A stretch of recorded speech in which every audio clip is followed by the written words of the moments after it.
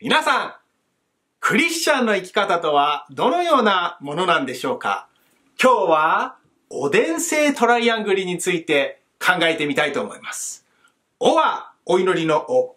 伝は、伝道の伝。聖は、聖書の聖へ名付けて、お伝性トライアングルです。トライアングル、三角のように、一つの面でもかけてますと、一つの面でもかけてますと、パーン崩れてしまいます。三つとも全部必要なんです。おでん性トライアングル。おでんを見るたんびに、この話を思い出してください。さて、お祈りです。お祈りとは一体どのようなものなんでしょうかお祈りというのは、自分の気持ちを神様に伝えることです。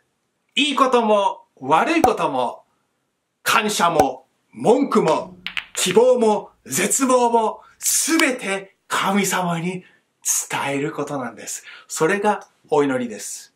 えー、でもお祈りって言いますとですね、えー、手を合わせて、手を合わせてですね、目を閉じて、えー、そのようなイメージが強いと思いますが、お祈りはそれだけじゃないんです。いろいろな形、いろいろな場所、いろいろな時にお祈りはできるんです。えー、どのような時か。お祈りというのは、歌を通して、音楽を通して、日記を通して、料理を通して、えー、散歩中、えー、お風呂中、えー、仕事中、えー、家族との会話、友達との会話、いろいろな場面でお祈りはできるんです。いつでも、どこでも、あなたの気持ちを神様に伝えることができるんです。それがお祈りです。おはお祈りのお。伝は伝道の伝です。伝道とは何でしょうか？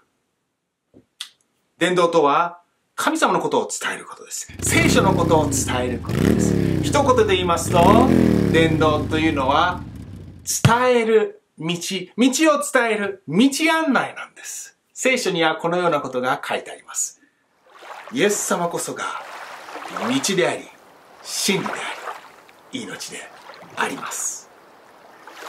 お、でん、聖。聖は、聖は聖書の聖です。聖書は神様の言葉です。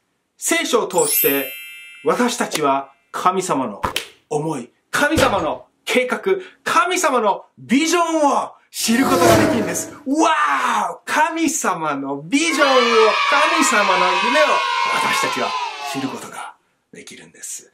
聖書の物語を通して私たちは神様がどのようにいろいろな人たちと今まで関わってきてくださったか知ることができます。さらに聖書の予言を通して私たちは神様が今後将来どのように私たちと関わってくださるか聖書に書いてあるんです。そうなんです。聖書に将来のことが未来が書いてあるんです。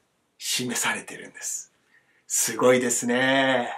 聖書研究こそがクリスチャンにとっての希望であり、喜びであり、そして力の源なんです。